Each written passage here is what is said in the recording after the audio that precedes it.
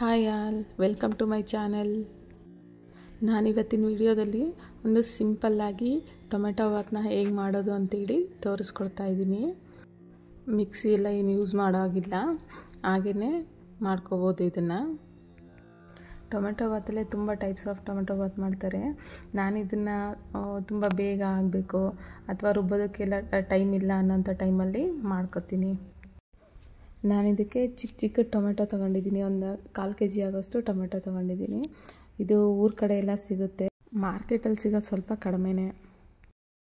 ನನಗೆ ಸ್ಟವ್ ಒಂದು ಕುಕ್ಕರ್ ಇಟ್ಟು ಕುಕ್ಕರ್ಗೆ ಒಂದು ನಾಲ್ಕೈದು ಸ್ಪೂನ್ ಆಗೋಷ್ಟು ಎಣ್ಣೆ ಹಾಕ್ಕೊಂಡಿದ್ದೀನಿ. ಎಣ್ಣೆ ಹಾಕ್ಕೊಂಡು ಅದಕ್ಕಾದಮೇಲೆ ಸ್ವಲ್ಪ ಸಾಸಿವೆ, ಮತ್ತು ಆಮೇಲೆ ಈರುಳ್ಳಿ, ಕರ್ಬೇವಿನ ಸೊಪ್ಪು, ಮತ್ತು ಪುದೀನ ಸೊಪ್ಪು ಹಾಕ್ಕೊಂಡು ಫ್ರೈ ಮಾಡ್ಕೊತಿದ್ದೀನಿ. ಇದೆಲ್ಲ ಸ್ವಲ್ಪ ಚೆನ್ನಾಗಿ ಫ್ರೈ ಆಗಬೇಕು.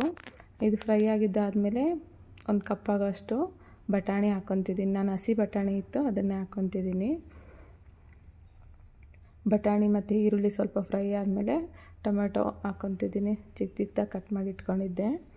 ಟೊಮೆಟೊ ಹಾಕ್ಕೊಂಡಿದ್ದೀನಿ ಟೊಮೆಟೊ ಎಲ್ಲ ಮೆತ್ತಗಾಗೋ ತನಕ ಚೆನ್ನಾಗಿ ಬೇಯಬೇಕು. ಹಂಗಾದರೆ ಟೊಮೆಟೊ ಟೇಸ್ಟು ಚೆನ್ನಾಗಿರುತ್ತೆ. ಟೊಮೆಟೊ ಎಲ್ಲ ಸ್ವಲ್ಪ ಬೇಯೋ ಅಷ್ಟರಲ್ಲಿ ನಾನು ಈ ಕಡೆ ಒಂದು ಕುಟಾಣಿಗೆ ಶುಂಠಿ ಮತ್ತು ಬೆಳ್ಳುಳ್ಳಿ, ಸ್ವಲ್ಪ ಚಕ್ಕೆ, ಲವಂಗ, ಏಲಕ್ಕಿ ಇಷ್ಟನ್ನು ಹಾಕ್ಕೊಂಡು ಜಜ್ಕೊತಾ ಇದ್ದೀನಿ. ಇದು ತುಂಬ ನೈಸಾಗಿ ಏನಾಗೋದು ಬೇಡ, ತರಿ ತರಿಯಾಗಿ ಪೇಸ್ಟ್ ಆದರೆ ಸಾಕು. ಈಗ ನೋಡಿ, ಇಷ್ಟ ಆಗಿದೆ. ಸಾಕಾಗುತ್ತೆ ಇಷ್ಟು ನುಣ್ಣಗಾದರೆ. ಈ ಕಡೆ ಟೊಮೆಟೊ ಎಲ್ಲ ಚೆನ್ನಾಗಿ ಮೆತ್ತಗೆ ಆಗ್ತಾ ಇದೆ. ನೋಡಿ ಇದು. ತುಂಬ, ಇದು ತುಂಬ ಟೈಮ್ ತಗೊಳ್ಳೋದಿಲ್ಲ ಈ ಟೊಮೆಟೊ ಬೇಯೋದಕ್ಕೆ. ಬೇಗನೆ ಬೇಯ್ತದೆ. ಈಗ ನೋಡಿ ಕುಟ್ಟಿಟ್ಕೊಂಡಿದ್ದ ಪೇಸ್ಟ್ನ ಈಗ ಹಾಕ್ಕೊತಾ ಇದ್ದೀನಿ. ಶುಂಠಿ ಮತ್ತು ಬೆಳ್ಳುಳ್ಳಿದೆಲ್ಲ ಹಸಿ ವಾಸನೆ ಹೋಗೋ ತನಕ ಸ್ವಲ್ಪ ಚೆನ್ನಾಗಿ ಫ್ರೈ ಮಾಡ್ಕೋಬೇಕು.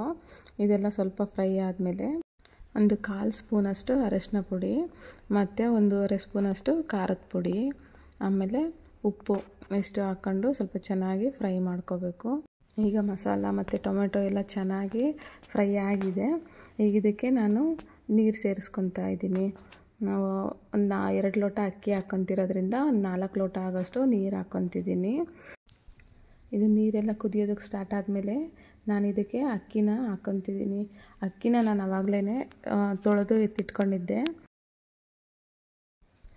ಈಗ ಲಾಸ್ಟಲ್ಲಿ ಸ್ವಲ್ಪ ಕೊತ್ತಂಬರಿ ಸೊಪ್ಪು ಹಾಕ್ಕೊಂಡು ನೀಟಾಗಿ ಮಿಕ್ಸ್ ಮಾಡಿಬಿಟ್ಟು ಕುಕ್ಕರ್ನ ಲಿಡ್ ಕ್ಲೋಸ್ ಮಾಡಿ ಒಂದು ವಿಸಲ್ ಹಾಕಿಸ್ಕೊಂಡ್ರೆ ಟೊಮೆಟೊ ಬಾತ್ ರೆಡಿ ಆಗುತ್ತೆ.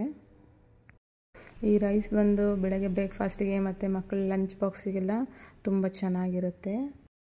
ನೋಡಿ ಕುಕ್ಕರು ತಣ್ಣಗಾಗಿದೆ. ಲಿಡ್ನ ಓಪನ್ ಮಾಡ್ಕೊತಾ ಇದ್ದೀನಿ. ರೈಸು ತುಂಬ ಚೆನ್ನಾಗಾಗಿದೆ.